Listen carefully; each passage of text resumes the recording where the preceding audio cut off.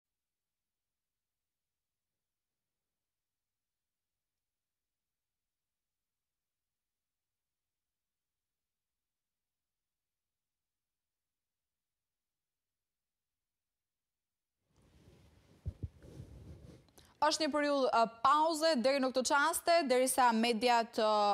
zënë vendin dhe të transmetojnë në kohë reale atë çfarë do të ndodhë me dëshminë e ish-ministrit Beqaj. Deri në këto çaste është një ndër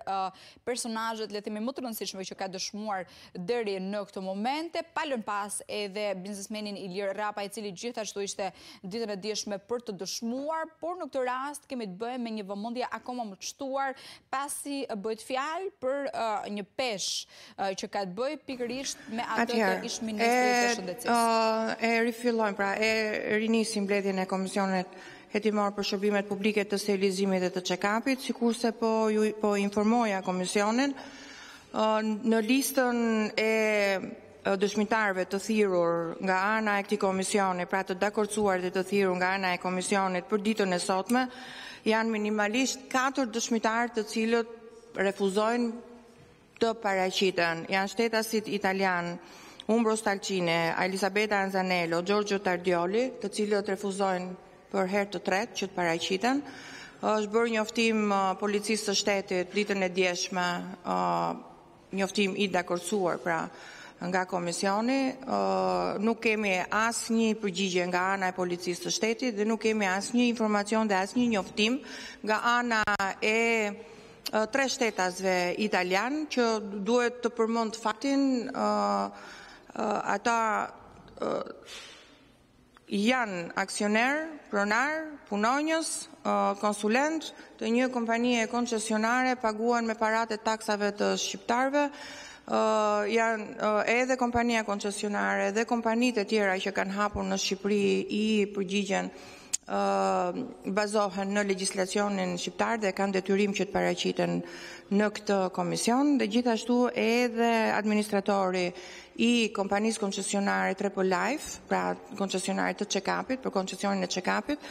ka njoftuar që ndodhet jashtë vendit dhe vjen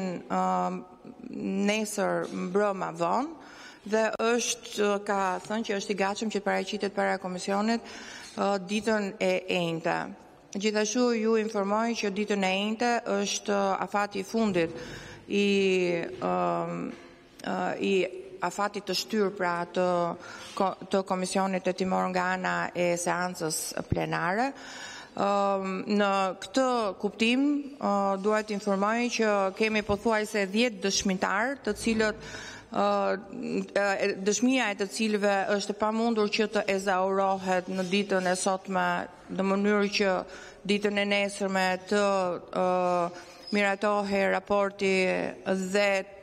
pastaj të vijonte me miratimin e seancës plenare. Gjithashtu ne si deputetë të opozitës që ditën e parë kemi kërkuar që të paraqitet për dëshminë e saj zonja Vilma Nushi. Kemi kërkuar kryeministrin Edi Rama. Gjithashtu i kemi paraqitur komisionit edhe në ditën e sotme i kemi paraqitur dy kërkesa si deputetë të opozitës në mënyrë që Vilma Nushi e Edi Rama të paraqiten për dëshmitë e tyre, janë dëshmi kyç për punën e komisionit hetimor. Ky është vlerësimi i deputetëve të opozitës. Gjithashtu kemi edhe shtetasin Artan Lleshi, zotin Biba, të cilët janë punonjës të kompanisë koncesionare të sterilizimit pra e Sani Service, të cilët nuk janë paraqitur. Sikurse e shihni dhe zoti Arben Gjata, janë minimalisht 10 dëshmitarë, të cilët dëshmia e tyre është e pamundur që të realizohet në ditën e sotme, që të paktën për sa i përket pjesës së dëshmive mund të konsiderohej si dita e fundit. personalisht si kryetare e komisionit, por edhe duke u konsultuar me kolegët e mi deputetë, nga ana e opozitës, deputetët e opozitës në këtë komision, dua të informoj që ne e konsiderojmë të paplotë punën e komisionit hetimor, dëshmi të paezauruar dhe gjithashtu kemi kërkuar nga ana e institucioneve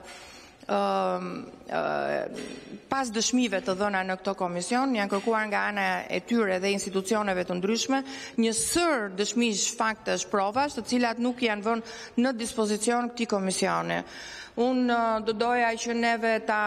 ta diskutojmë, ta shqyrtojmë në tani, domethënë para se të thrasim dëshmitarin e parë zotin Beqaj për të vendosur se çfarë çfarë do bëjmë me komisionin. Ne gjykojmë që duhet kërkojmë duhet kërkojmë një shtyrje tjetër. Ligji nuk përcakton se ka një shtyrje, dy shtyrje apo ka një numër caktuar shtyrjesh. Ligji përcakton që duhet të ezaurohen të gjitha hapat, gjitha dëshmitë para se të mbyllet para se të të konsiderohet e mbyllur puna e këtij komisioni. Atëherë kush e do fjalën për procedurë?